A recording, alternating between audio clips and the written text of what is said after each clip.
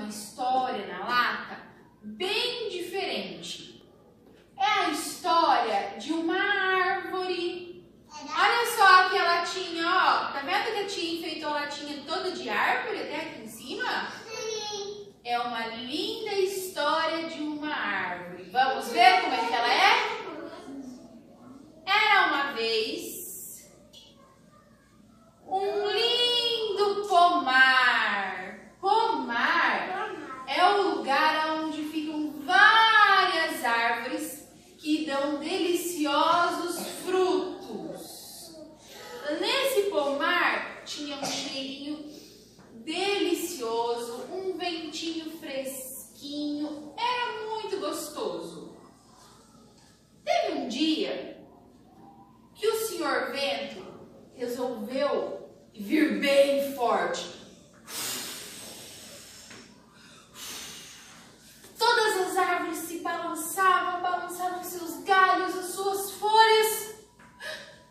E uma frutinha, põe, caiu da árvore Na minha vida. e foi parar no chão. A dona árvore ficou muito triste, tadinha, porque aquela frutinha não ia dar para ninguém mais comer ela, que ela tinha caído no chão e tinha se repartido ao meio. Não dava para comer mais ela.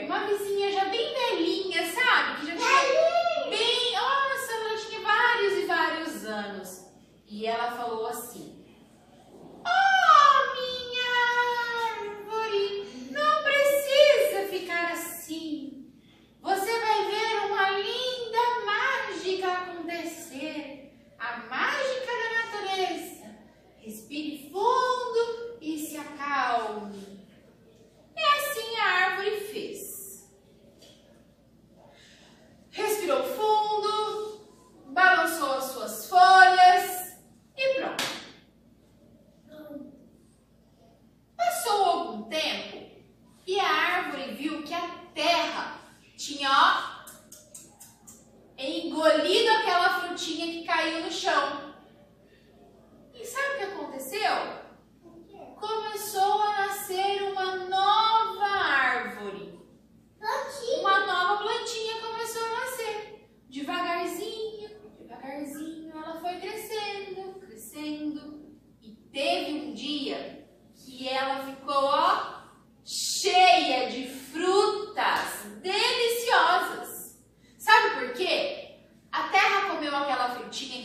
chão e ela viu que a fruta era deliciosa.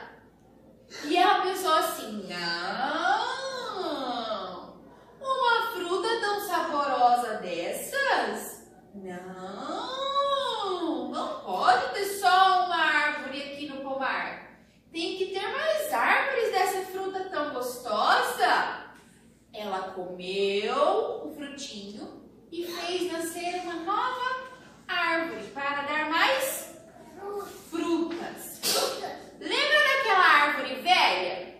Aquela que já tinha bastante, bastante aninhos, já lembra dela? Sim. Ela chegou na, na árvore e falou assim: Oh, minha querida, eu não te falei que era preciso ter calma?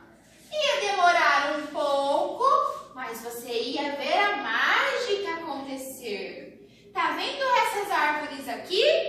Com todas elas aconteceu isso. Precisou uma frutinha cair para começar a nascer uma árvore, outra árvore, outra árvore, outra árvore. E assim ficou o nosso pomar recheado de árvores com deliciosas frutas. Eba! E agora que você já entendeu a mágica da natureza, sabe o que é que você tem que fazer? Contar sempre para uma árvore que perder a sua frutinha, para que ela não fique triste. Porque dali um tempo vai nascer uma nova árvore que vai dar frutos deliciosos. E a árvore entendeu que essa era a mágica da natureza. As árvores do pomar